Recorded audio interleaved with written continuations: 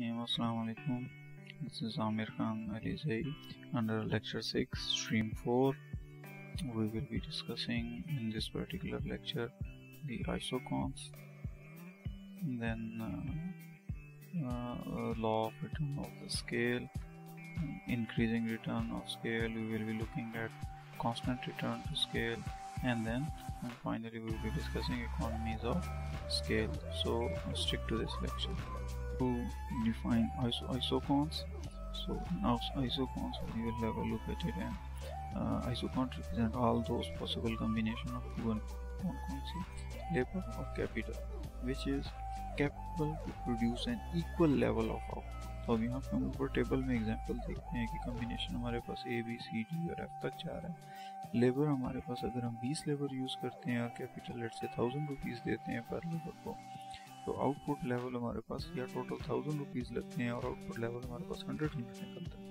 अगर हम बी के अंदर लेबर 18 यूज़ करते हैं 18 लेबर यूज़ करते हैं और कैपिटल हम लोग 2000 टोटल कॉस्ट आती है तो हमारे पास 100 यूनिट्स अगर हम लेबर 12 यूज़ कर रहे हैं और कैपिटल हमारे पास 3000 हमारा यूज़ होता है आउटपुट देखें तो all the way right pan के अंदर हमारे यूनिट्स में हंड्रेड यूनिट्स चल रहे हैं। यहाँ पे लेबर कम होता जाएगा कैपिटल बढ़ता जाएगा। लेकिन मेन पॉइंट जो आइसो पॉइंट के अंडर टर्मिनोलॉजी में अंडरस्टैंड करने की है वो कि आपका आउटपुट लेवल है। यहाँ पर मैं अपने स्टूडेंट्स को जो एग्ज़ाम्पल देता हूँ।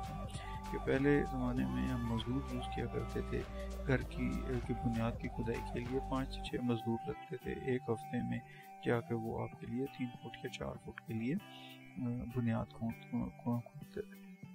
घर की कंस्ट्रक्शन की आजकल टेक्नोलॉजी ने उसको ओवर ओवर रूल कर दिया हुआ है। अब आप एक्सीवेशन मशीन यूज़ करते हैं और वही काम हार्डली ढाई से तीन घंटे में हो जाता so and isoquant represents of those possible combination of two and four कौन कौन से labor and capital which is capital to produce an equal level of output of uh, return to scale को देखते हैं the laws of return to scale explain the behavior of output in response to a proportional and uh, simultaneous change in inputs increasing inputs proportionately and simultaneously is in fact an expansion of the scale of production.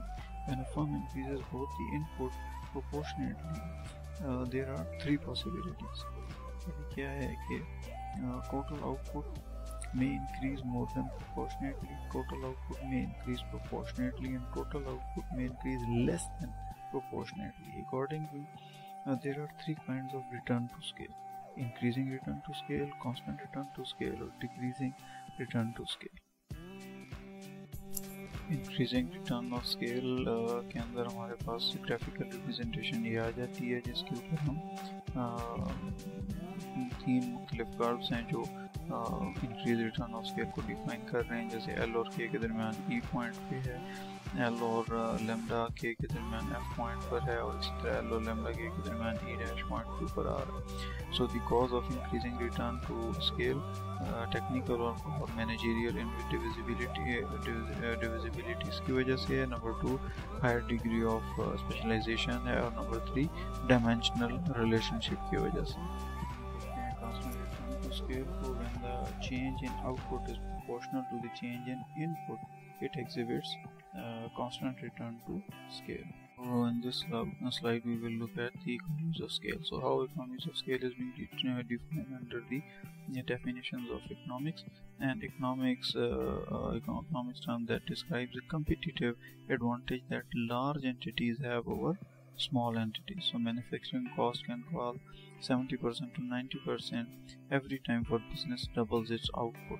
So that is the impact. Internal, the sheer size of the company showing bulk purchases and external receiving uh, pre uh, professional prefer uh, preferential uh, treatment from government or other external sources. So if we look at the cost per unit and the cost per uh, quantity per unit, if we plot it uh, graphically, so diseconomies of scale can result if a company becomes less efficient.